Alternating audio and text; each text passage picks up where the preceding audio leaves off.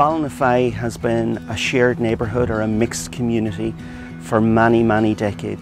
I found out about Nextdoor because there was a very, very interesting discussion going on. There'd never been anything like a local social networking site and I thought that was very interesting. I immediately saw the potential for it.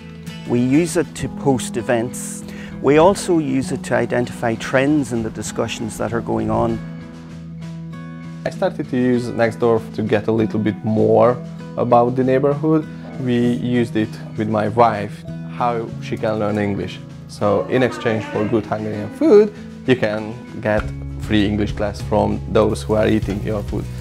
We are feeling that we are part of a community. As a blind person, I access Nextdoor via the iPhone app. It's basically a screen reader. So about eight months ago, I decided I was going to uh, get a bit fitter, and I decided to ask on Nextdoor if anybody out there would like to go running with me. Hi neighbours. Wondering if any runners out there would like to try their hand at being a guide runner. When you're running as a blind person, you're with a sighted guide, and so Dervla can guide me through that as well as verbal instructions like go left, go right, and the most important I found, which is stop. Using Nextdoor has helped me feel included and embedded in community life.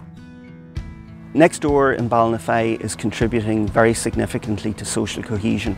I think people are encountering difference in a very, very new way and they're enjoying it.